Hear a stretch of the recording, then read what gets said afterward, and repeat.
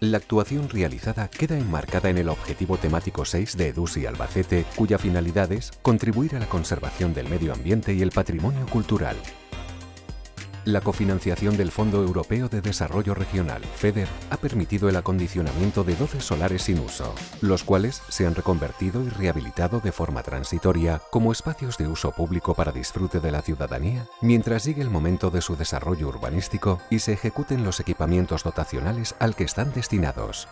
Dicha intervención mejora las condiciones de limpieza e higiene, recuperando estos espacios degradados de la ciudad para la creación de puntos de encuentro de recreo, integración y zonas verdes que mejoran la cohesión social del entorno.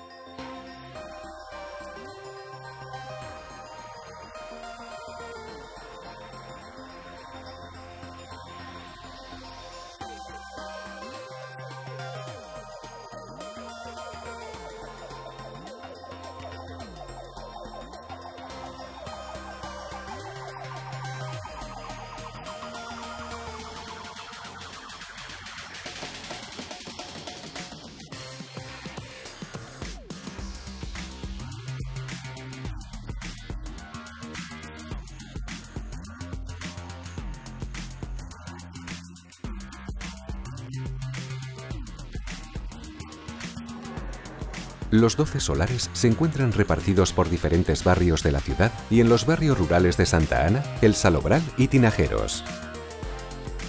Cuentan con una superficie total acondicionada de 33.915 metros cuadrados.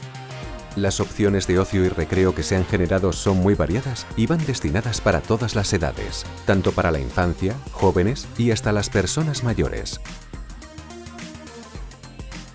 Se han habilitado zonas de juegos infantiles con pavimento continuo de absorción de impactos destinadas para niños y niñas hasta los 12 años, con la instalación en el solar de la calle Quiñones de juegos infantiles inclusivos.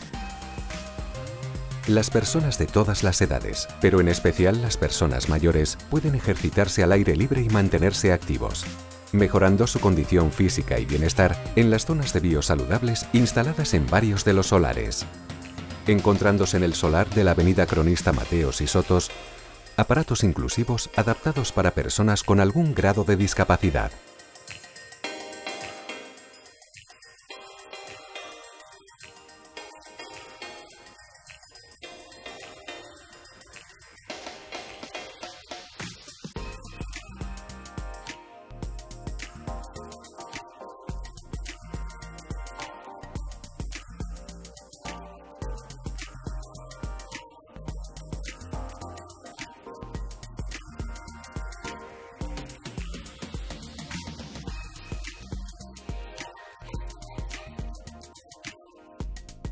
Para la práctica de deportes urbanos se han instalado en varios solares zonas de calistenia y campos de fútbol 7.